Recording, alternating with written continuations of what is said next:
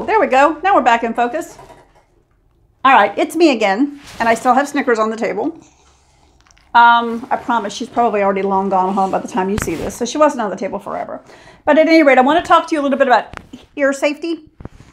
And our hearing, as you know, anybody who's been in the grooming industry very long, you know, we're always going, huh?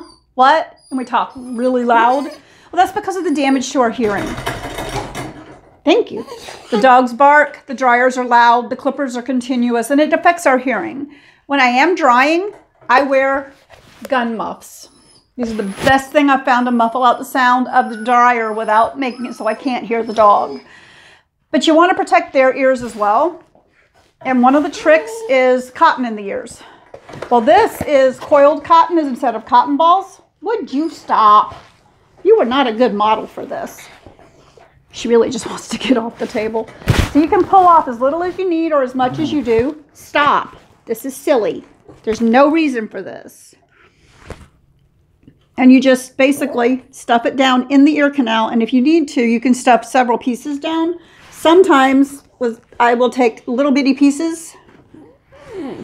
and stick it down in the ear canal and then take another piece on top of it to make sure it stays. But with the rolled cotton, it's so easy to do and you always have the box handy. We keep it on the windowsill here behind me. There's a glass window behind this quilt and we keep it there. But once that's in their ears, a lot of them behave much better. Yes, you can use a happy hoodie. Some people find those work really well. I don't like them personally, but that's me. Doesn't mean they don't work for you or for other people. That's great if they do. Fantastic. Some people wrap a towel around their heads. Cotton in the ears is what we choose to do in here. Um, you want to protect their hearing as well as yours because it is loud and it will cause damage.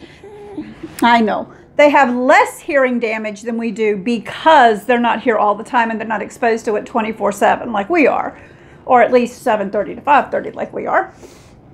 I really can't wait for those dryers to turn off every day. It's like an instant release of tension when they do. Um, and I feel that way about hair dryers, stand dryers, force dryers. It doesn't matter. Any dryer, fans in the back room. I just want them off. When they're off, my tension level drops from here to here. I tend to wear earplugs during the day as well. Um, I have some titanium earplugs that are made for constant wear and I wear them almost all the time because I really cannot stand the noise anymore. It's just getting to the point that it's driving me up the walls. Can't handle it.